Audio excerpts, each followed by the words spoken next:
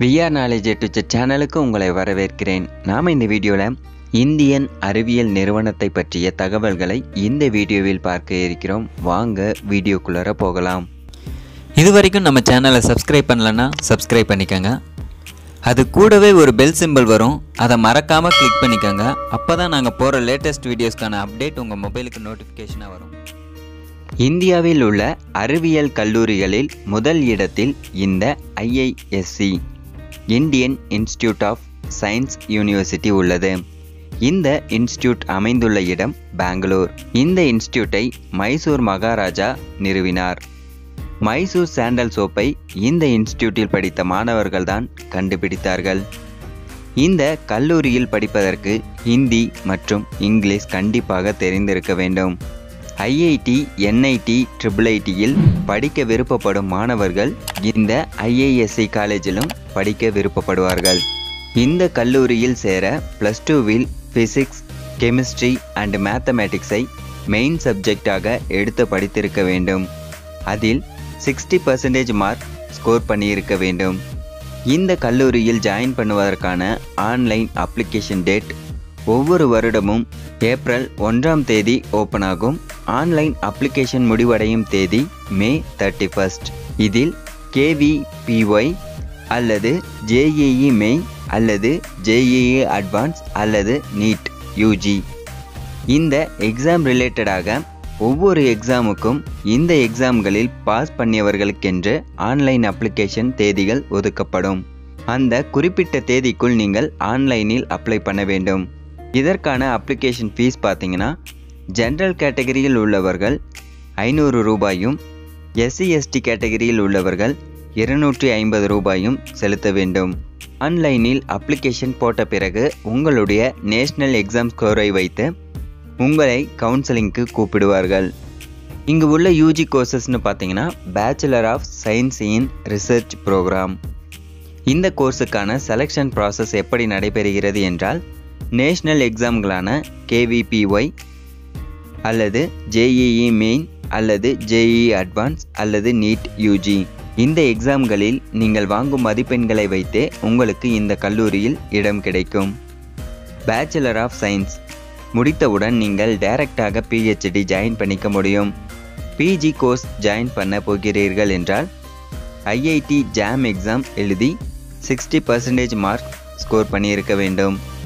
அது மட்டுமல்லாமல் IIT JAM எக்ஸாமில் டாப் த்ரீ ஹண்ட்ரட் ரேங்க்குக்குள் வந்திருக்க வேண்டும். பிஜி கோர்ஸ் முடித்தவர்களால் தான் பிஹெச்டியிலும் ஜாயின் பண்ண முடியும். அடுத்து BTech in mathematics and computing இந்த கோர்ஸ்களில் ஜாயின் பண்ண கண்டிப்பாக ஜேஇஇ அட்வான்ஸ்டு எக்ஸாம் எழுதி பாஸ் பண்ணி இருக்க வேண்டும். Online application date first June to thirty first August இதற்கான அப்ளிகேஷன் ஃபீஸ் பார்த்தீங்கன்னா ஜென்ரல் கேட்டகரியில் உள்ளவர்கள் எட்நூறு ரூபாயும் எஸ்சி எஸ்டி கேட்டகரியில் உள்ளவர்கள் நானூறு ரூபாயும் செலுத்த வேண்டும்.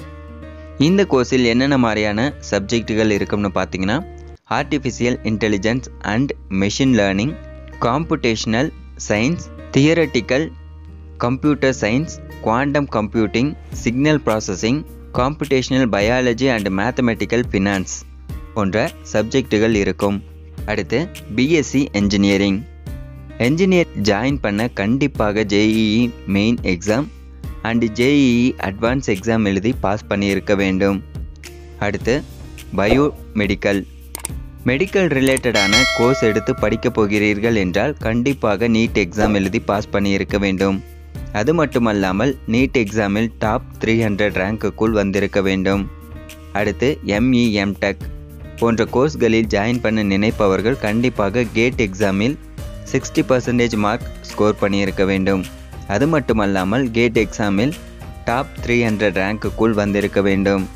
எம்டெக் கோர்ஸில் என்னென்ன மாதிரியான ஸ்ட்ரீம்கள் உள்ளது என்றால் computer science engineering aerospace engineering artificial intelligence civil engineering mechanical engineering electrical engineering micro electronic and VLS design computational maths and data processing earth and environment science signal processing instrumentation engineering climate science smart manufacturing electronic system designs engineering material engineering chemical engineering nano science technology network and communicational research போன்ற ஸ்ட்ரீம்கள் இதில் உள்ளது artificial intelligent என்றால் என்ன என்பதை பற்றி ஏற்கனவே video upload பண்ணியிருக்கேன். அதற்கான வீடியோ லிங்க் கீழே டிஸ்கிரிப்ஷனில் கொடுத்துருக்கேன். அதை கிளிக் பண்ணி பாருங்கள் அடுத்து மாஸ்டர் ஆஃப் மேனேஜ்மெண்ட் ஸ்டடீஸ் இந்த எம்எம்எஸ் கோர்ஸ் ஆனது எம்பிஏ கோர்ஸுக்கு ஈக்குவலான கோர்ஸ்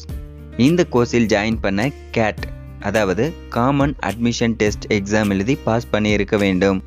அடுத்து மாஸ்டர் ஆஃப் டிசைன் இந்த கோர்ஸில் ஜாயின் பண்ண கேட் எக்ஸாம் எழுதி பாஸ் பண்ணியிருக்க வேண்டும். அதுவே தமிழ்நாட்டில் நீங்கள் காலேஜில் ஜாயின் பண்ண டான்செட் எக்ஸாம் எழுதியிருக்க வேண்டும். MSc and PhD integrated course இதில் இன்டகிரேட்டட் என்றால் இரண்டு கோர்ஸையும் கம்பைன் செய்து நடத்துவார்கள். இதில் MSc biological physics chemical science maths போன்ற கோர்ஸ்களும் கண்டக்ட் செய்வார்கள். எம்எஸ்சி அண்ட் பிஹெச்டியில் ஜாயின் பண்ண நினைப்பவர்கள் CSIR UGC NET GATE exam INSPIRE exam போன்ற எக்ஸாம்களை கம்ப்ளீட் பண்ணுவதன் மூலம் நீங்கள் பிஹெச்டியில் ஜாயின் பண்ண முடியும். இந்த காலேஜில் ஜாப் பிளேஸ்மெண்ட்டுக்கு கோர் கம்பெனியில் இருந்தும் ஆட்களை தேர்வு செய்வார்கள். கோர் கம்பெனியில் மினிமம் சேலரி என்று பார்த்தால் ஒரு ஆண்டிற்கு எண்பது லட்சம் வரை கிடைக்கும். இந்த இன்ஸ்டியூட்டில் படித்தவர்கள் foreign கம்பெனிகளான Xerox research lab IBM vaccine INRIA research லேப்களில் உங்களுக்கு ஈஸியாக ஜாப் கிடைக்கும். இந்த வீடியோ உங்களுக்கு பிடித்திருந்தால் லைக் பண்ணுங்கள் ஷேர் பண்ணுங்கள் கமெண்ட் பண்ணுங்கள் மறக்காமல் சப்ஸ்கிரைப் பண்ணுங்கள்